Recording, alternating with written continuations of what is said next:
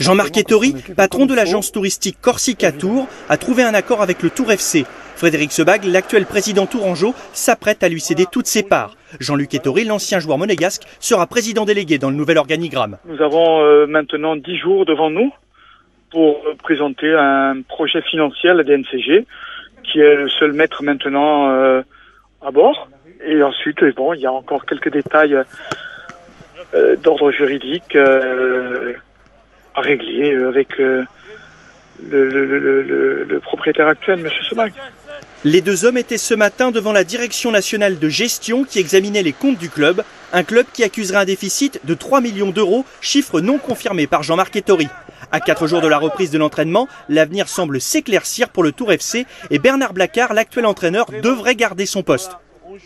J'ai demandé clairement et simplement à Bernard Blacard si à un moment ben, euh, le projet l'intéressait, si en gros il était intéressé par une continuation au sein du club.